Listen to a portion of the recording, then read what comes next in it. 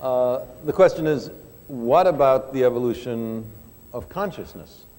Isn't this another of the uh, uh, conceits that only humans are conscious? I, am paraphrasing. Um, but uh, would I include that in the, in the demotions? Uh, Annie Druyan and I wrote, wrote a book called Shadows of Forgotten Ancestors, in which we tried systematically to look at each of these, what I've called conceits. And I think the most startling thing we learned, or I'll speak for myself, that I learned in the course of doing that book, was how we kept getting it wrong on these issues. Now, consciousness has various meanings. If it means an awareness of the external world and modifying your behavior to uh, take account of the external world, then I think microbes are conscious. If you mean deep thoughts, like uh, Bishop Berkeley's contention that nothing exists except what's in his mind, I'm with the microbes myself. um, you see, how do you know that I think any thoughts? Only because I happen to be communicating to you. You can't easily tell that I have philosophical thoughts by looking at me drinking this cup of water, right? So imagine that I was mute, that I could not communicate by speech or writing or anything else.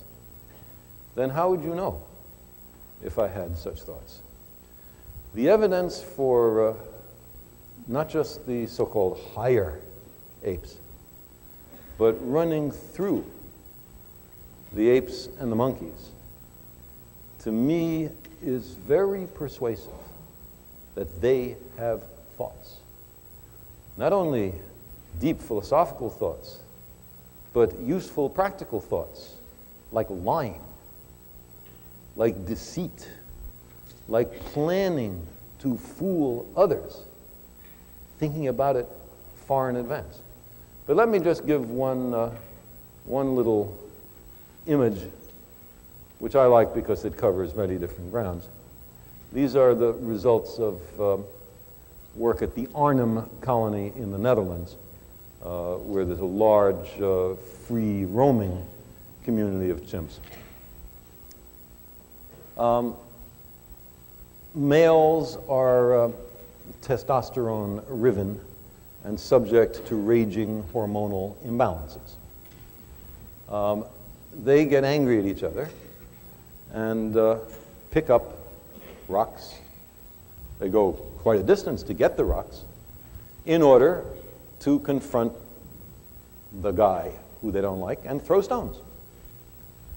The very act of going over there out of sight of the enemy to pick up the stones and then bring them back to throw the stones shows thinking ahead, understanding a goal and aware of yourself and the opposition.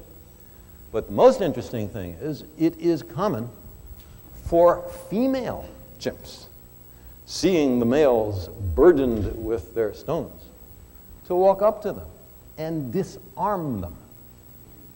Pluck the stones out of their arms, open up their fingers, and throw the stones away. And when the males, in a huff, gather them up, the females disarm them again. So not only do the males know what they have in mind, the females know what they have in mind. and that, to me, not only is consciousness, but a uh, social arrangement I'd like to see more of in humans.